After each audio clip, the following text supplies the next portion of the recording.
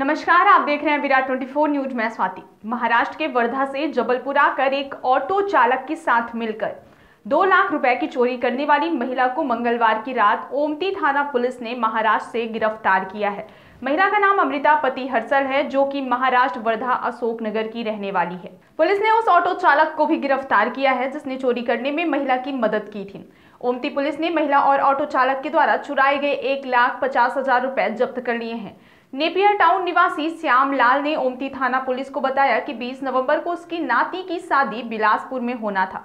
इसलिए वह 19 नवंबर को अशोका होटल से शाम साढ़े पाँच बजे एक बैग में, सोने चांदी के जेवरात और दूसरे बैग में नगद दो लाख रुपए लेकर अपनी नातिन के साथ घर आने के लिए ऑटो क्रमांक एम पी बीस आर पैंतीस अठारह में बैठ गया। श्यामलाल और उनकी नातिन जिस ऑटो में बैठे, उस ऑटो की पिछली सीट पर एक महिला पहले से बैठी हुई थी। ऑटो चालक ने श्यामलाल और उनकी नातिन को महिला के साथ बैठा दिया। महिला को पहले तीन पत्ती चौक से उतरना था, लेकिन महिला वहाँ नहीं उतरी।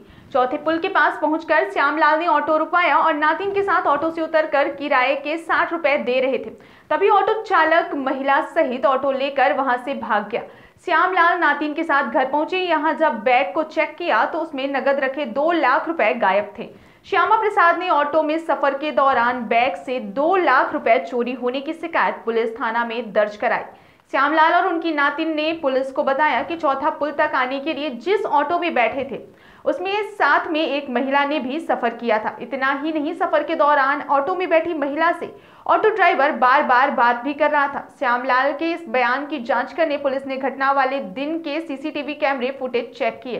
साथ ही श्यामा प्रसाद से सड़क पर दौड़ रहे उस ऑटो की पहचान कराई, जिसमें वह चौथा पुल तक आने के लिए सवार हुए थे। कैमरा फुटेज में दिख रहा है, ऑटो घमापुर, कांच मोहल्ला निवासी रोहित साहू का निकला।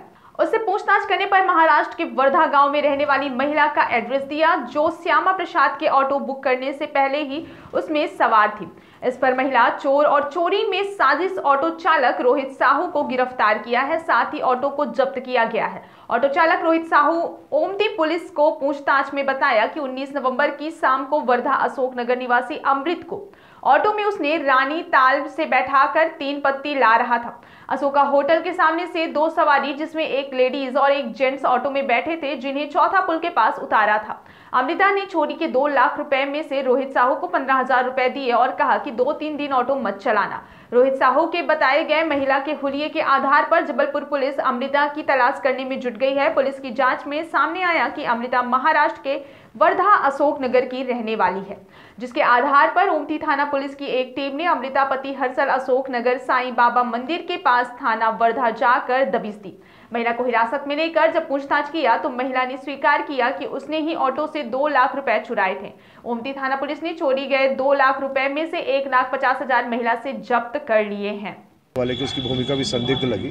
हमने ऑटो चालक रोहित साहू को अभिरक्षा में लेके पूछताछ किया। उसने बताया कि ये जो एक महिला जो उसके बाजू बैठी थी उसके द्वारा ये जेब कटी की गई है। हमने उसको उस महिला को भी गिरफ़्तार किया। महिला वर्धा महाराष्ट्र की रहने वाली है। नमस्कार रीवा। मैं हूँ भानु पंडित। और मैं हूँ अनीता भट्ट। और हम आ रहे हैं आपके शहर रीवा 11 दिसंबर 2022 को। कृष्णा राज कपूर ऑडिटोरियम में एक सुरों की महफिल सजाने जिसका नाम है उड़ान। शाम गज़ल। एक शाम सूफी संगीत के नाम में अपनी प्रस्तुति देने के लिए। तो हम चाहते हैं कि आप सभी आए वहाँ पे इस संगीत में शाम का हिस्सा बनने के लिए। और हम दोनों स्पेशली थैंक्स बोलना चाहते हैं अभ्युदय उपकार फाउंडेशन की तरफ़ से अनामिका शुक्ला जी का। जिन्होंने हमें रीवा शहर आमंत्रित किया। तो सी यू ऑल दैट